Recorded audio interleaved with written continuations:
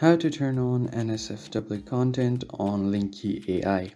So Linky is a character AI op, uh, app where you can easily create new characters or talk with the AI characters in the app. So let's see how you can turn on the NSFW chats on this app.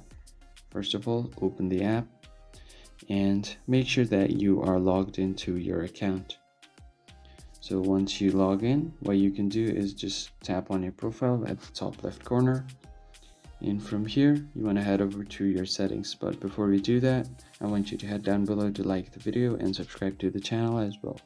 So just tap on this profile right here and then tap on your settings at the top right. Now if you scroll down a bit, you will see show NSFW content. Just tap on it but you will have to be 18 years or older in order to enable this option so just toggle this on. And now if you get to your home settings and refresh your home uh, it will be filled with uh, NSFW characters so you can uh, chat with them and uh, have conversation with those characters. If you found the video helpful hit the like button and subscribe. I will see you on the next one